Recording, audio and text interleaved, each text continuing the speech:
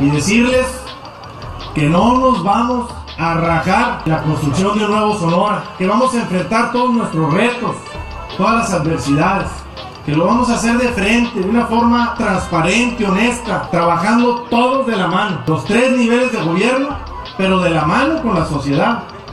Les aseguro que si seguimos trabajando en la construcción de un nuevo Sonora, en construir la infraestructura productiva que necesitamos, darle la seguridad que necesita nuestro Estado, para crear los empleos que necesitan sus hijos y todos ustedes, Sonora va a crecer a pasos agigantados. Vamos a construir constantemente, año con año, el nuevo Sonora que todos queremos.